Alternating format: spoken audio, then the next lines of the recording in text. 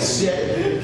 He lied on you. See? He wrote a letter about you that wasn't true. Uh-huh. Uh-huh. Guess who said? That thou and the Jews think to rebel, for which cause thou buildest the wall, that thou mayest be king, according to these words. See, they lied on him. They trying to put position on him that they want. He wants a better position. No, all he wanted to do was the will of God. Yes. See, but they lied on him. want to report him to the king. Amen. and thou hast also appointed prophets and preach of of Jerusalem, saying, There is a king in Judah, and now shall it be reported to the king according to these words. Now therefore, and let us take counsel together. So they're trying to get him. We're going to tell the king, let's come on down here and meet us. Amen. They still want to put grief on you. Know they want to kill him now. Uh-huh. He got to the place of at least getting his wall. Uh-huh. They wanted to catch him even before those walls got uh, up. They wanted to catch him even before he made a decision to go what? Forward. Uh-huh. They wanted to catch him before he could even get to a place of joy and peace. They wanted to catch him before he could even get to a place of knowing it was God told him to do that work. They want to stop the work of the Lord. Amen. Amen. Amen. Watch he said in verse 8. Then I said unto them, saying, There are no such things done as thou said, but you make it all up out of your own heart. You made up this lie. You making up this lie. Hmm. Now I know some of y'all, you've been through what I've been through. Some of this stuff these people write about you is true. But if we got a blood covering God, if we got a God that says he forgives us for our past, present, and future sin, wow, you still rely on those reports. There's a scripture in the Bible says, whose report will you believe? The Lord's. I'm going to believe the report of the Lord. Amen. You don't have to say that way. Amen. Verse 9. For they all made us afraid, saying, their hands shall be weakened. Now they want to send that kind of fear to stop you from doing the work. Amen. They don't want to stop you from progressing in God. They want to stop you from having a vision. They want to stop you from having an ambition. I don't care if you've been to jail. I don't care if you've been homeless. I don't care if you've been to every daggone rehab that deals with alcohol and drug addiction. There's a point where you can get up and say, oh no, it ain't happening no more. You want to keep on moving forward, and those people want to stop you from progressing. Looking at them, oh no, it ain't happening here no more. Oh no, you ain't bringing grief no more. Amen. Boy, I'm touching somebody. Amen. I'm going to keep on doing the work. I don't care if I get people. I'm going to keep on doing the work. Tired as I am, I'm going to keep moving. Amen. Amen. Woo, verse 9 again. For they all made us afraid, and their hands shall be weakened from the work, that it be not done. See? Now therefore, O God, strengthen our hands. So when they try to stop you, say, oh God, strengthen me. I don't feel like getting up out the bed today. Oh God, strengthen me. Despair will hold you down. Despair and grief will keep you down worse than you working all day. Because people in depression don't want to get out of bed. People in despair don't want to move. They don't have no hope to get up. All they want to do is lay there and die. But you got to fight that thing. Oh, yeah. Amen. Verse 10. And afterward I came unto the house of Shemaiah, the son of Delilah, whatever his name is, and who was shut up. And he said, Let us meet together in the house of God within the temple, and let us shut the doors of the temple, for they will come to slay you. Yes, in the night when they come to say. Now see, here's the church trying to set him up now. Ooh. What? Position, prestige, and power. Now they done paid off a church official to set up Nehemiah. Uh-huh. Uh-huh. Boy, if I can get into that. The people you work with done set you up. Look, man, I give you a raise to get him out the way. Get her out. Look, they believe in trusting you because you're a man or woman of God. Tell them, come on to the temple. Uh-huh. Come on to the church. We want to all have a meeting. You know how many meetings I sat in? And guess what I always was looked at in those meetings? The one full of grief and despair. You know why? Because I never moved past their eyesight of being a crackhead. That's it. So no matter how much I was right, I was still wrong in their eyes. You know why? Because I was born a crackhead. Amen. Uh-huh. So your word don't go so far, but your work will go further. So don't worry about those meetings and start doing the work the Lord gave you. And watch this. Don't ever give nobody no vision. That's right. That's right. If you got some ambition in your heart right now, don't be telling everybody around you. Don't tell them. Keep your vision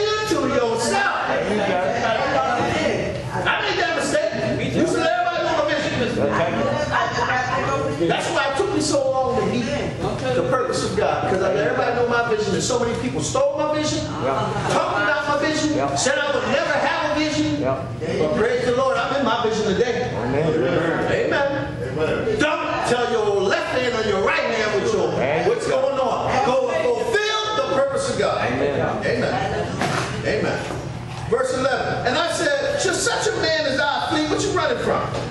And who is there that, being as I am, would go into the temple to save his own life? I'm the leader and I'm going to run in the temple? Amen. Uh-huh, but watch what he says. I won't go. Oh no, I ain't No.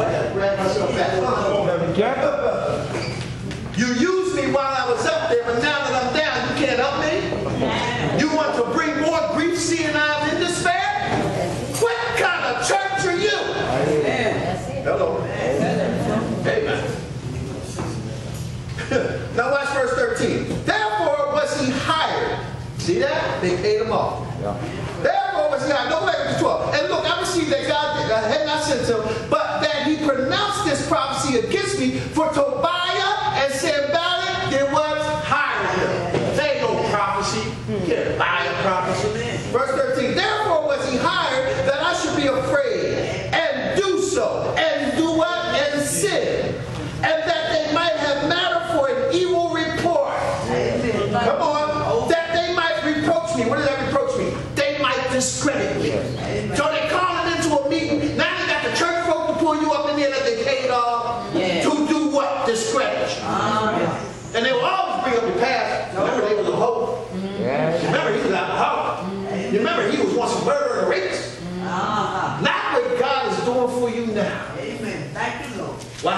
work cease and I come and lay with you? What I'm talking And now you want to send a man of God that I trust, and now I perceive that you have been set and hired on. See, God will give you great discernment against people no matter what title they got. They- see, if somebody is, is wearing their title, instead of letting the title live for them, it's Amen. the wrong person. Know what I'm talking I used to be in church all the time, and I would say, how y'all doing, brother so-and-so? Don't you know I'm elder so-and-so? And I would look right back at me, well, how you doing, brother so-and-so? That's why they call me rebellious. I'm saying, if you gotta pronounce your title, then you ain't that title. There you go.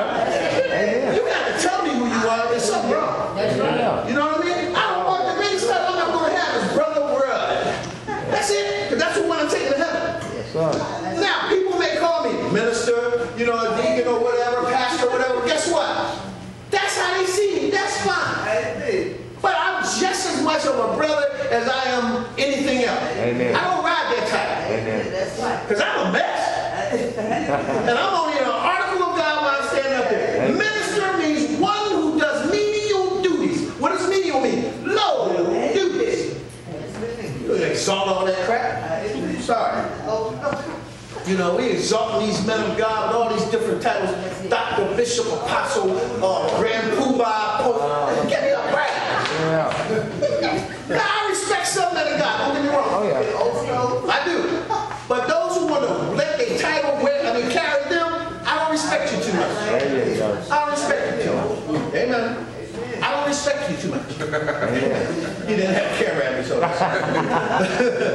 All right, where we at? Verse 14. My God, think thou upon Tobiah and Sanballat according to these their works, and when the prophetess Noah died, see, they sent a woman of God to her. And the rest of the prophets that would have put me to what? Fear. All these people came to try and intimidate me, to bring me grief and despair. But what does he say? God, think upon them, right? So, I love this. He didn't let nothing intimidate him. He didn't care about them trying to discredit him. So what happened? When you don't let nobody intimidate you or discredit you, you will still fulfill God's purpose. Because you already know who you are. There. If you know who you are, can't despair come your way. Grief can't come your way. Amen.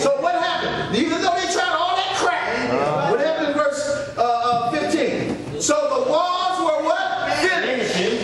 In 20 and 5 days, of the millennial, and 50 and 2 days. Now watch what happens now. Watch the reverse this. I love this. Verse 16.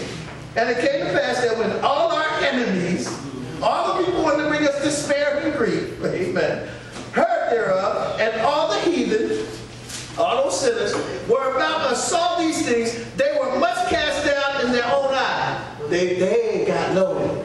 They got low. What happened? Now they flip the script. Now they get shit. The walls are up. Amen. Uh, For they perceived that this work was of God. Amen. Amen. They knew Nehemiah had nothing to do with it. We were trying to stop the work of God in that person's life. That's why I said, don't be envision nobody. Amen. There are people in the churches today that will try to stop your work. Because they will look at your past. There are people that in this room and in this building that will try to stop your work and your past. Take. That's why I said, keep your mouth shut. Don't tell nobody. Amen. Amen. Matter of fact, amen. Matter of fact, you gotta vision like, uh, what's it got, J, Jabez? J Bass? Go to First Chronicle, First Chronicle, matter let's just read it. First Chronicle. First Chronicles chapter four. First Chronicles chapter four. Verse ten. Chronicles, First Chronicles 4.10, and it says, And Jabez, go, called on God of Israel, saying, Oh, that thou wouldest bless me indeed. You know, they used to have that big old thing, bless me indeed, oh Lord, even had the song, the Jabez prayer. Oh, bless me indeed, and enlarge my coast, and that thy hand might be with me, and that thou wouldest keep me from evil, that it may not what? Grieve me. And God granted him which he requested. Yes. That's the attitude you gotta have. Amen. That's right. Amen. Amen. But watch this. People will always try and bring you grief when you are doing the right thing. So don't think because you decide to do the right thing and ain't nothing gonna happen to you. That's when the devil turns up the fire. Because now you realize he don't know you no more. Amen. See, when you get born again, you're gonna get more attacks. Okay, oh, let me- let me- All right. Watch this. People will always try and bring you grief when you are doing the right thing. If you are born and the Holy Spirit is living in you and you are sealed by the Spirit of God, those who try to bring you grief are grieving the Holy Ghost when they try to cause you grief. Why? Because He lives in you and you are sealed by Him. Now watch that. Now they saying to me, oh, look, what are you talking about? They grieving the Holy Ghost when they're trying to bring you grief. What do I mean by that? Here's what I mean by that. And I was in prayer when I was writing this message, right? I was actually adding to it. But I was in prayer and the Holy Spirit said to me, He said, grieve not the Holy Ghost. I want y'all go to um, Ephesians chapter 4. And I said, well, Lord, what do you mean by if they're grieving me, they're grieving the Holy Ghost? I thought that was something special. But then I began to think about it and I said, when you get born again, who immediately moves in? The Holy Ghost.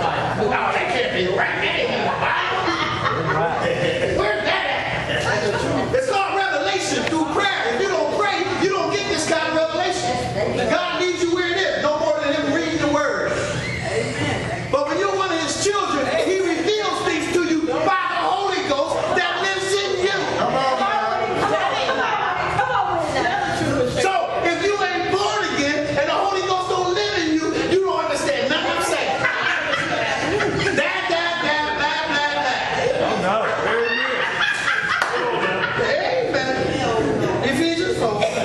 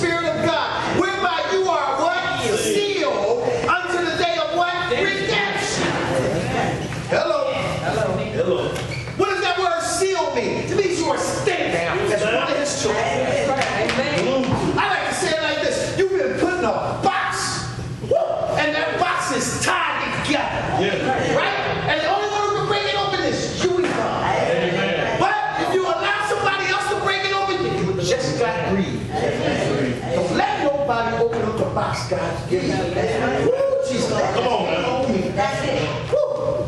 Boy, y'all gonna make Pastor give me. I'm so proud. Man, I can shut the Bible on that right there. But I ain't. I ain't gonna do it. I ain't gonna do it. Oh no. Go to Ephesians 1. Because somebody said, what do you mean by seal? Let's see what he said about the seal. Ephesians 1.13, what does it say? In whom you also trusted. After that, you heard the word of trust, the gospel of your salvation, in whom also after that you believed, you were what? Sealed with the Holy Spirit of promise. Amen. Am I proving it out? Yeah. Is everybody with me? Everybody lost it. Hello. Amen. Go to John 14. Go to John 14. But we got to stop this stuff in the church. Bringing people grief. When all they trying to do is the will and the purpose of God.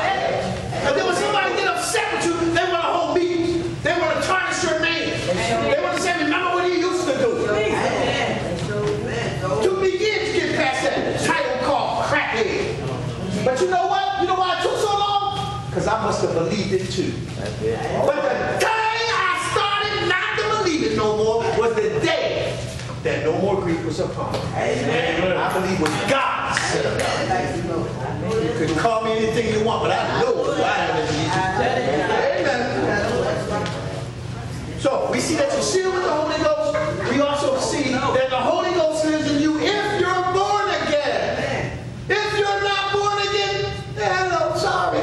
Yeah, oh no. Or maybe you'll get born again after this message. Amen. John 14. That's right. Oh no. That. John 14, verse 26. Verse 26. But the comforter, that word comforter means advocator, helper, consolation during tribulation. But the comforter, which is the who? Holy Ghost, whom the Father will send in my name, he shall what? Teach you all things and bring all things to your remembrance whatsoever I have said unto you. But if he ain't living in you, he can't bring it. He's got to be living in you. You know, people always talk about this, you know, see, you gotta understand something. Jesus sits on the right hand with power and authority. That's right. The Holy Ghost sits on the left hand with instruction and correction. So when Jesus said, while I was here, he said, I will send you another comforter. But while he was here, he was the comforter of the whole world. But he said, I must go away because the comforter or the Holy Ghost and Jesus can't be in the earth at the same time. That's why he had to go away. But he said, I will send you another comforter. And that's why he said, greater works will you do than I. Because now he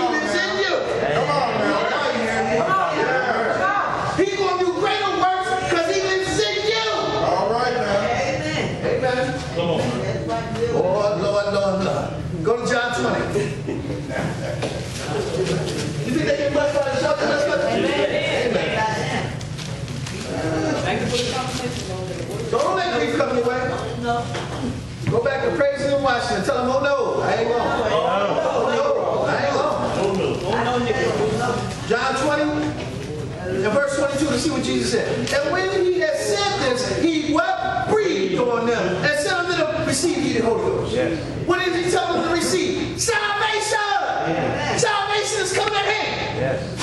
Receive it. There you go. Oh, I just know Jesus. I believe Jesus. My parents raised me with Jesus. My, my, my uncle was a, a pastor. My uncle was a deacon in the church. My aunt served as a usher in the church. They got to do with you. No. Ain't got They ain't going to heaven. And I guarantee they ain't going to be crying if you go to heaven.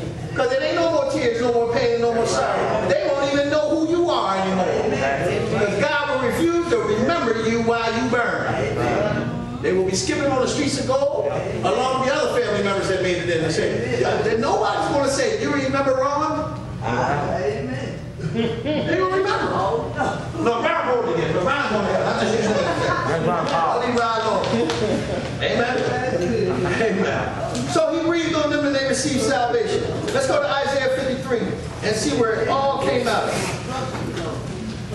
Isaiah 53. We got a little bit more time here. Did y'all understand that Nehemiah story? Did Nehemiah give you an example how to fight against the saved, the unsaved, and the religious folk who keep coming at you? And look out for those who are just filled with position, prestige, and power. But that's the only thing they're serving. They ain't serving the living God. They're serving their flesh. Amen. And they want to beat you down because you want to do the will of God. Thank you, Lord. Believe me, I know. Oh, no. And I mean, it will drive you to want to kill yourself sometimes. Don't do it. Especially if you're a baby in the church and they begin to bring you that hurt. You be like, Dad, going to the world treat me this way. I never thought the church would treat me this way. That is so depressing. You can't even come to the door. You can't even do this. You can't do that. Don't they know y'all babies in Christ? Amen. That's right. Don't treat a baby like that. You correct the baby. You instruct the baby. But you don't discredit the baby. That's right. That's what it means. I better not discredit my baby. No. Amen. Shut up.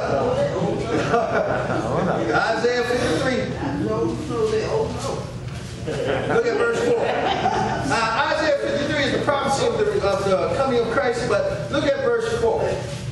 And surely he has what? Borne our griefs. See what Jesus did for you? He bore our griefs and carried our sorrows. Yet we did esteem him stricken, smitten of God, and afflicted. So he, he, he went through all that for you. Why are you worried about somebody trying to bring you grief and affliction? Didn't it say Jesus was born for us? And he did on that cross. Amen. Isaiah 51. Verse 11. 51 verse 11. Therefore, the redeemed of the Lord shall return and come with singing in the Zion. The Zion is a type of church. And everlasting joy shall be upon